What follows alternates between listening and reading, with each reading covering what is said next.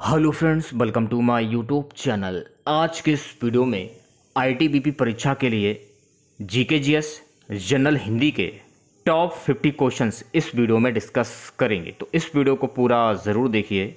Video अच्छा लगे तो प्लीज़ वीडियो को लाइक और शेयर ज़रूर करें। और जो भी हमारे नए बच्चे हैं, जिन बच्चों ने चैनल को सब्सक्राइब नहीं किया है तो प्लीज़ चैनल को सब्सक्राइब करके notification bell hello friends, welcome to my YouTube channel. आज के इस वीडियो में आईटीबीपी परीक्षा के लिए जीके जीएस जनरल हिंदी के प्रीवियस ईयर के क्वेश्चंस इस वीडियो में डिस्कस करेंगे। तो इस वीडियो को पूरा ज़रूर देखिए। वीडियो अच्छा लगे तो प्लीज़ वीडियो को लाइक और शेयर ज़रूर करें। और जो भी हमारे नए बच्चे हैं, जिन बच्चों ने चैनल को सब्सक्राइब नहीं किया है तो प्लीज़ चैनल को सब्सक्राइब करके नोटिफिकेशन बेल ऑन करना ना भूलें। तो चलिए वीडियो को स्टार्ट करते हैं। आज के सेशन में पहला क्वेश्चन एनी वेसेंट निम्नलिखित में से किस पहल से संबंधित नहीं थी? रामकृष्ण मिशन जो है ना, रामकृष्ण मिशन से एनी वेसेंट का कोई भी संबंध नहीं है। तो रामकृष्ण मिशन आपका सही आंसर हो जाएगा। अगला क्वेश्चन देखिएगा गाइस 2011 की जनगणना के अनुसार निम्न में से किस राज्य की साक्षरता दर सबसे कम है? बिहार राज्य की साक्षरता दर सबसे कम है 2011 की जनगणना के अनुसार। तो बिहार आपका सही आंसर हो जाएगा। अगला क्वेश्चन बाबर और राजपूतों के बीच चंदेरी का युद्ध कब लड़ा गया था? तो बाबर और राजपूतों के बीच चंदेरी का युद्ध जो है ना 1528 ईस्वी में लड़ा गया था। तो 1528 आपका सही आंसर हो जाएगा। सो अगला क्वेश्चन देखेगा दिल्ली सल्तनत का संस्थापक निम्नलिखित में से कौन था? तो दिल्ली सल्तनत का संस्थापक कुतुबुद्दीन ऐबक था। तो कुतुबुद्दीन ऐबक आपका सही आंसर हो जाएगा। अगला क्वेश्चन गाइस की होयसलेश्वर मंदिर किस भारतीय राज्य में स्थित है? तो होयसलेश्वर जो मंदिर है ना, ये कर्नाटक राज्य में स्थित है। तो कर्नाटक आपका सही आंसर हो जाएगा। बात करेंगे अगले क्वेश्चंस की। अगला क्वेश्चन देखेगा गाइस क्वेश्चन है गाइस कि भारतीय स्वतंत्रता पूर्व अवधि के दौरान गरीबी आकलन का हिस्सा कौन नहीं था? तो भारतीय स्वतंत्रता पूर्व अवधि के दौरान गरीबी आकलन का हिस्सा वी एन दांडेकर नहीं था। तो वी ऑप्शन जो है आपका बिल्कुल सही हो जाएगा। सो so गैस अगला क्वेश्चन है कि स्वर्णिम चतुर्भुज परियोजना कब शुरू की गई थी? तो स्वर्णिम चतुर्भुज परियोजना जो है ना, वर्ष 2001 में शुरू की गई थी। तो वर्ष 2001 आपका सही आंसर हो जाएगा। गैस अगला क्वेश्चन देखेगा। क्वेश्चन से गैस कि पश्चिम बंगाल के निम्नलिखित में से कौन सा लोक नृत्य महिलाओं द्वारा किया जाता है जो अपने बच्चों को इच्छाओं को पूरा करने के लिए देवताओं से आशीर्वाद मांगती है? तो देखिए, पश्चिम बंगाल के जो वृत्ता है ना, वृत्ता, ये नृत्य महिलाओं के द्वारा किया जाता है और जो अपने बच्चों की इच्छाओं को पूरा करने के लिए देवताओं से आशीर्वाद मांगती है। तो वृत्ता आपका सही आंसर हो जाएगा। सो गैस अगला क्वेश्चन देखेगा वीडियो को एक बार शेयर कर दीजिए सभी बच्चे ज़्यादा से ज़्यादा। सो गैस क्वेश्चन है कि अकाली आंदोलन का नेतृत्व तो किस धर्म के नेताओं ने किया था? तो ये आपको ध्यान रखना है कि अकाली आंदोलन का जो नेतृत्व है ना, ये सिख धर्म ने किया था। तो सिख धर्म के नेताओं ने किया तो सिख धर्म आपका सही आंसर हो जाएगा, यानी कि option number D. Next question देखेगा गाइस नेक्स्ट क्वेश्चन है। असामान्य पर्यावरणीय पारिस्थितिकी के संपर्क में आने वाले प्रोटीन में होने वाले भौतिक परिवर्तन को इस नाम से जाना जाता है। तो इसे जो है ना, विकृतीकरण यानी कि डीनेचुरेशन के नाम से जाना जाता है। तो सी ऑप्शन जो है आपका, बिल्कुल सही हो जाएगा। सो अगला क्वेश्चन खाद्य संरक्षण के लिए निम्नलिखित में से किस तकनीक का उपयोग किया जाता है? क्वेश्चन में क्या पूछा जा रहा है? खाद से संबंधित। खाद्य संरक्षण से संबंधित किस तकनीक का उपयोग किया जाता है? तो आपको ध्यान रखना है कि डिब्बाबंदी और पार्श्वीकरण, हिमीकरण और विकरण से खाद तकनीक खाद संरक्षण तकनीक का प्रयोग किया जाता है। तो डी ऑप्शन जो है आपका बिल्कुल सही हो जाएगा।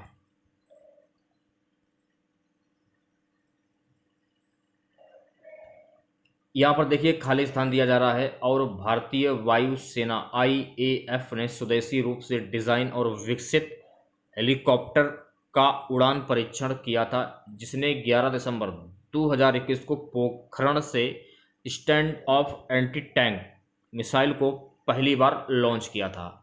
तो ये जो मिसाइल जो है ना, रक्षा अनुसंधान एवं विकास संगठन ने लॉन्च किया था। तो रक्षा अनुसंधान एवं विकास संगठन आपका सही आंसर हो जाएगा। सो गाइस अगला क्वेश्चन देखेगा सेशन को एक बार शेयर कर दीजिए सभी बच्चे। निम्नलिखित में से किसने अपने अनुयायियों के साथ खुदाई खिदमतगार या लाल कुर्ती आंदोलन शुरू किया? खान अब्दुल गफार खान ने अपने अनुयायियों के साथ खुदाई खिदमतगार या लाल कुर्ती आंदोलन शुरू किया था तो खान अब्दुल गफार खान आपका सही आंसर हो जाएगा, ठीक है? चौदहवें क्वेश्चन की हम बात करेंगे गाइस अगला क्वेश्चन देखेगा। मई 2021 में निम्नलिखित में से किस वैज्ञानिक को विश्व खाद्य पुरस्कार 2021 दिया गया था? 2021 का जो पुरस्कार है, विश्व खाद्य पुरस्कार, किस वैज्ञानिक को 2021 में दिया गया था? ये डॉक्टर शकुंतला हरक सिंह फिल्स्टेट को दिया गया था। तो डॉक्टर शकुंतला, हरक सिंह फिल्स्टेट आपका सही आंसर हो जाएगा। सो गैस अगला क्वेश्चन है कि असंरचना इंफ्रास्ट्रक्चर के संबंध में निम्नलिखित में से कौन सा कथन सत्य है? तो असंरचना इंफ्रास्ट्रक्चर के संबंध में असंरचना एक मूर्ति पर संपत्ति है। तो ए ऑप्शन जो है आपका बिल्कुल सही हो जाएगा। सो so गैस अगला क्वेश्चन आपकी स्क्रीन पर क्वेश्चन है गैस की पूंजी बाज़ार खाली स्थान दिया जा रहा है।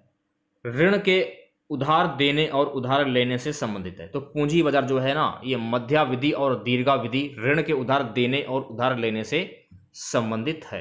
तो डी ऑप्शन जो है आपका बिल्कुल सही हो जाएगा। गाइस अगला क्वेश्चन देखेगा। क्वेश्चन क्या है? निम्न में से कौन सी कोशिकाएँ ठीक से विभाजित हो सकती हैं? कौन सी कोशिकाएँ ठीक से विभाजित हो सकती हैं? सुगा त्वचा कोशिकाएँ जो है ना, ठीक से विभाजित हो सकती हैं। तो बी ऑप्शन जो है आपका बिल्कुल सही हो जाएगा। नेक्स्ट क्वेश्चन देखिएगा गाइस अगला क्वेश्चन है, देखिए खाली स्थान दिया जा रहा है। क्वेश्चन है कि राग का मुक्त प्रभाव है, जिससे कोई शब्द, कोई निश्चित लाल का उपयोग नहीं किया जाता है। तो यहाँ पर देखिए आलाप जो है ना, आलाप। आलाप राग का मुक्त प्रवाह है, जिसमें कोई शब्द और कोई निश्चित ताल का उपयोग नहीं किया जाता है। तो आलाप आपका सही आंसर हो जाएगा, ठीक है? अगला क्वेश्चन देखेगा लोक संगीत और उसके संबंधित राज्य, केंद्र शासित प्रदेश के सही संयोजन का चयन करें। इसमें देखिए, जो चक्री है ना, चक्री, जम्मू और कश्मीर ये जो है आपका ऑप्शन में, ये आपका बिल्कुल सही हो जाएगा। इसका संयोजन बिल्कुल सही हो जाएगा, ठीक है? चक्री। डी ऑप्शन सही हो जाएगा। नेक्स्ट क्वेश्चन देखेगा गाइस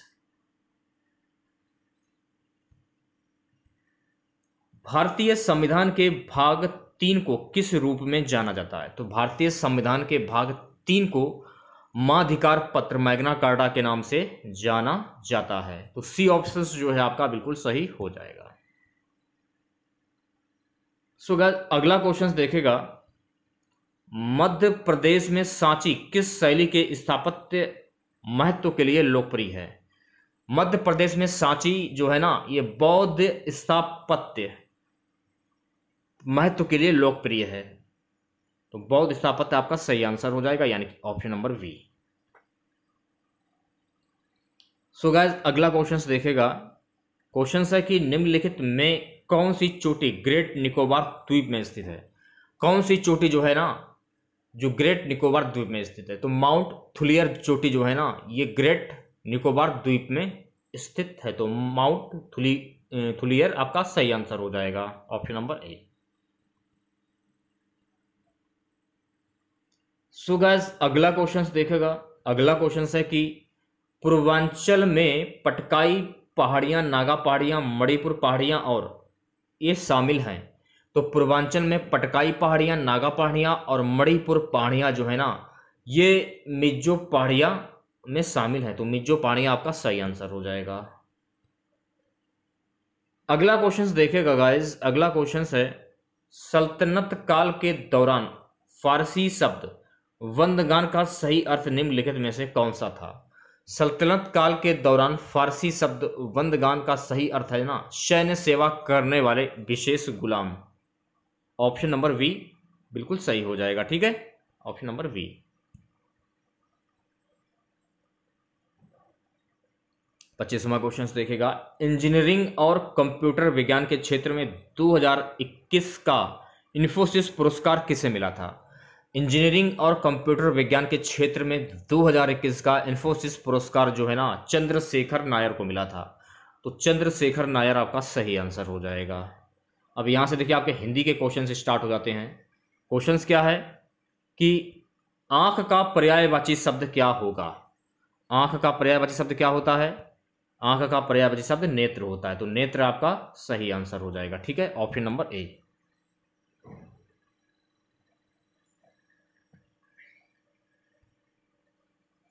दूसरा क्वेश्चन, निम्नलिखित में से किस शब्द के विग्रह में तत्पुरुष समास होगा? चयन कीजिए। किस शब्द के विग्रह में तत्पुरुष समास होगा? धरणीधर जो है ना, धरणी, देखिए धरणी जो है आपका अलग हो जाएगा और धर जो है आपका अलग हो जाएगा। धरणी का धर, कर्ता ने कर्म को का, यानी यहाँ हो जाएगा तत्पुरुष समास। धरणीधर बी ऑप्शन बिल्कुल सही हो जाएगा, ठीक है? नेक्स्ट क्वेश्चन देखेगा नेक्स्ट क्वेश्चन है गाइस उददी बड़ाई कौन है? जगत पियासो जाए। इस पंक्ति में उददी शब्द किसका पर्यायवाची शब्द है? तो देखिए, उददी जो है ना, ये पयोदी का पर्यायवाची शब्द हो जाएगा। तो पयोदी आपका सही आंसर हो जाएगा, यानी कि ऑप्शन नंबर वी।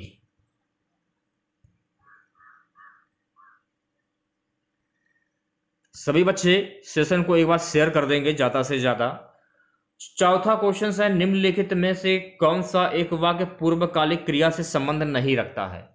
कौन सा वाक्य पूर्वकालिक क्रिया से संबंध नहीं रखता है? वह पैदल घर आया, वह पैदल घर आया, इस वाक्य में पूर्वकालिक क्रिया से संबंध नहीं रखता है। तो ऑप्शन नंबर ए सही हो जाए नेक्स्ट क्वेश्चन है, गाइस, की दयो दध्योधन का संधि विच्छेद क्या होगा? दयोधन का संधि विच्छेद होगा। दधी धन ओधन तो डी ऑप्शन बिल्कुल सही हो जाएगा। छठे क्वेश्चन की हम बात करेंगे। गाय छठा क्वेश्चन है। निम्नलिखित विकल्पों में से जिसे वाणी द्वारा कहा ना जा सके, वाक्यांश के लिए एक सार्थक शब्द क्या होगा?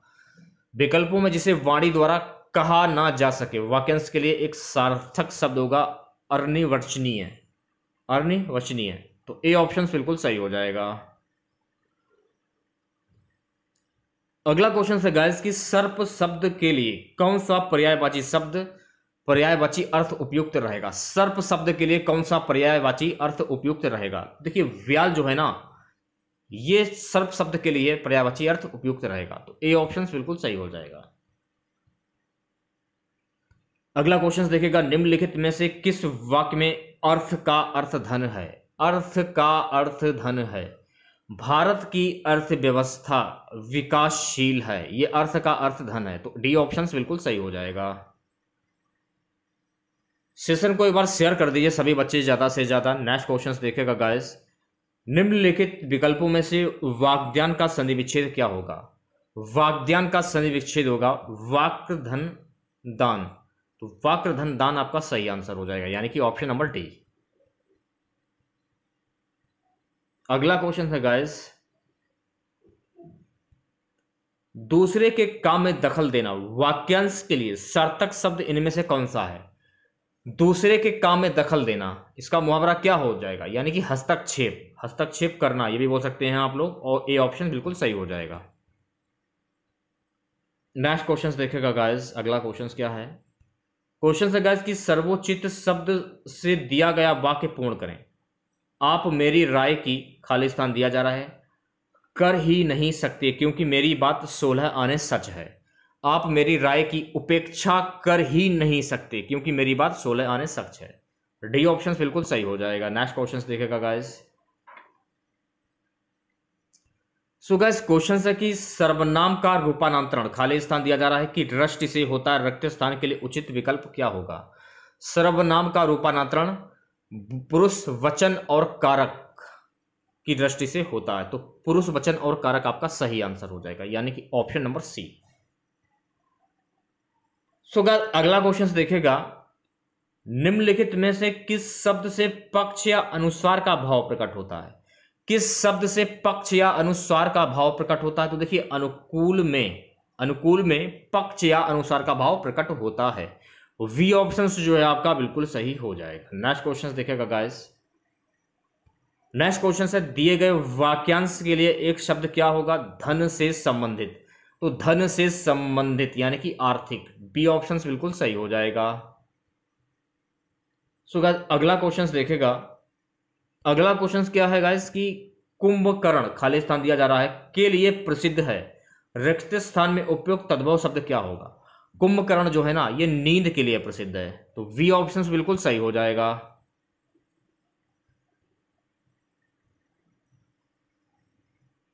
अगला क्वेश्चन है गाइस उगले तो अंधा, निगले तो कोड़ी, इस कहावत के उचित अर्थ का चयन करें।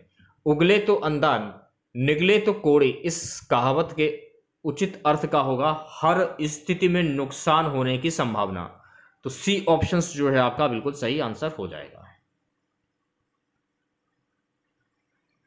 सत्रहवा क्वेश्चन देखेगा। निम्नलिखित अर्थ वाली कहावत की पहचान करें। दिखावटी, ठाट वाट किंतु सार कुछ नहीं। दिखावटी, ठाट वाट किंतु सार कुछ नहीं। यानी कि छप्पर पर फूस नहीं, ड्योणी पर नाच। वी ऑप्शन बिल्कुल सही आंसर हो जाएगा। नेक्स्ट क्वेश्चन देखेगा गाइस अगला क्वेश्चन क्या है? क्वेश्चन है गाइस कि पीताम्बर में कौन सा समास होगा? तो मैंने आप लोगों को कई बार बताया है कि जब किसी वाक्य में किसी प्रसिद्ध व्यक्ति या भगवान के नाम आ जाए तो वहाँ पर आपका बहुप्रिय समास होता है। देखिए पीताम्बर है ना तो पीला अंबर है जिनका, यानी कि भगवान विष्णु। नीलकंठ नीला कंठ है जिनका, भगवान शिव। लंबोदर, लंबा उदर है जिनका, यानी भगवान गणेश। तो इस प्रकार से आप लोग पहचान सकते हैं। दशानंद दश आनंद है जिसके, यानी कि रावण। ये भगवान तो है नहीं। ये एक प्रसिद्ध व्यक्ति है। तो यहाँ हो जाएगा बहुप्रिय समास। तो बी ऑप्शन बिल्कुल सही आंसर हो जाएगा। अगले क्वेश्चंस की बात करेंगे। नेक्स्ट क्वेश्चंस देखेगा। क्वेश्चन क्या है? निम्नलिखित विकल्पों को ध्यानपूर्वक पढ़ें और बताएँ कि इनमें से कौन सा विकल्प दिगु समास का उदाहरण है। दिगु समास, यानी कि संख्यावाची शब्द संख्यावाची शब्द। जिसकी पंचवटी, पाँच आ रहा है इसमें? पंचवटी, चौराहा, चार राहों का समूह, चार आ रहा है इसमें? तो ये आपका हो जाएगा दिगु समास। तो डी ऑप्शन बिल्कुल सही आंसर हो जाएगा। जैसे कि पाप और पुण्य तो अगर पूछा जाए कि पाप पुण्य में कौन सा समास होगा तो पाप और पुण्य में हो जाएगा द्वंद्व समास, गजानन। गजानन में कौन सा समास होगा? गजानन, यानी कि गणेश, बहुप्रिय समास पीताम्बर इसमें भी बहुप्रिय समास हो जाएगा। ये आपको ध्यान रखना है, ठीक है? अगला क्वेश्चन देखिएगा। निम्नलिखित में से किस वाक्य में सर्वनाम का अशुद्ध प्रयोग हुआ है? सर्वनाम किस वाक्य में सर्वनाम का अशुद्ध प्रयोग हुआ है? वह सब भले लोग हैं। इस वाक्य में सर्वनाम का अशुद्ध प्रयोग हुआ है। बी ऑप्शन सही हो जाएगा। देखिए, गद्यांश दिया जा रहा है कि गद्यांश को आपको पढ़ना है। पढ़ने के बाद आपको आंसर खुद ही ऑटोमेटिक पता चल जाएगा। निम्नलिखित गद्यांश को ध्यानपूर्वक पढ़िए और पूछे गए प्रश्नों के सही उत्तर चुनिए। जनसंख्या की वृद्धि भारत के लिए आज एक विराट समस्या बन गई है। यह समस्या की सुख सपनता के लिए एक भयंकर चुनौती है। महानगरों में कीड़े मकोड़ों की भांति अस्वास्थ्य कर घोसलों में आदमी भरा पड़ा है। ना धूप, ना हवा, ना पानी, ना दवा पीले, दुर्बल, निराश चेहरे। ये संकट अनान्यास नहीं आया है। संतान को ईश्वरीय विधान और वरदान मानने बाला भारतीय समाज ही इस रक्त बीजी संस्कृत के लिए जिम्मेदार है। चाहे खिलौने की रोटी, पहनाने को वस्त्र ना हो, शिक्षा को शुल्क और रहने को छप्पर ना हो, लेकिन अंधे भूखे अध नंगे बच्चों की कतार खड़ी करना हर भारतीय अपना जन्म सिद्ध अधिकार समझता है। यदि इस जन वृद्धि पर नियंत्रण ना हो सका तो हमारे सारे प्रयोजन और आयोजन व्यर्थ हो जाएँगे। धरती पर पैर रखने की जगह नहीं बचेगी। जब किसी समाज के सदस्यों की संख्या बढ़ती है तो उसे उनके भरण पोषण के लिए जीवनशोभी वस्तुओं की आवश्यकता पड़ती है। परंतु वस्तुओं का उत्पादन तो गणतीय क्रम से होता है और जनसंख्या रेखा गणित की दर से बढ़ती है। फलस्वरूप जनसंख्या और उत्पादन दर से चोर सिपाही का खेल शुरू हो जाता है। आगे आगे जनसंख्या दौड़ती है और पीछे पीछे उत्पादन वृद्धि। वास्तविकता यह है कि उत्पादन वृद्धि के सारे लाभ को जनसंख्या की वृद्धि व्यर्थ कर देती है, जिसके परिणाम स्वरूप वस्तुएँ अलभ्य हो जाती हैं, महँगाई निरंतर बढ़ती रहती है, जीवन स्तर गिरता रहता है, गरीबी, अशिक्षा, बेकारी बढ़ती चली जाती है, देश वहीं का वहीं पड़ा रहता है। तो ये दिया गया है इसमें जनसंख्या, ये आज का जो गद्यांश है ना, ये जनसंख्या को लेकर है। तो जनसंख्या होने पर क्या क्या कष्ट होते हैं और आने दिन, वाले दिनों में देश का क्या हाल होता है, वो बताया जा रहा है इसमें। गद्यांश का शीर्षक क्या है? देखिए, गद्यांश का शीर्षक क्या ये बोला जा रहा है? तो देखिए, गद्यांश का जो शीर्षक है, बढ़ती जनसंख्या, एक अभिशाप, इस पर यह गद्यांश दिया गया है, ठीक है? तो डी ऑप्शन बिल्कुल सही आंसर हो जाएगा। देखिए, एक क्वेश्चन दिया जाएगा उसके ऊपर गद्यांश दिया जाता है। तो क्वेश्चंस देखेंगे हम लोग। जनसंख्या और महँगाई से क्या संबंध है? देखिए, जनसंख्या और महँगाई से संबंध क्या है? जनसंख्या बढ़ने से उत्पादन वृद्धि भी व्यर्थ हो जाती है और महँगाई बढ़ जाती है। तो बी ऑप्शन बिल्कुल सही आंसर हो जाएगा। अगला क्वेश्चन देखिएगा, रक्तबीजी। संस्कृति का अर्थ क्या है? रक्तबीजी संस्कृति का अधिक संतति उत्पन्न करने की संस्कृति। पी ऑप्शन बिल्कुल आंसर सही आंसर हो जाएगा। नेक्स्ट क्वेश्चन देखिएगा गद्यांश के अनुसार भारत में बढ़ती जनसंख्या के लिए जिम्मेदार है। गद्यांश के अनुसार भारत में बढ़ती जनसंख्या के लिए जिम्मेदार है। संतान को ईश्वरीय विधान और वरदान मानना। सी ऑप्शन बिल्कुल आंसर सही आंसर हो जाएगा। लास्ट क्वेश्चन आज का रहेगा।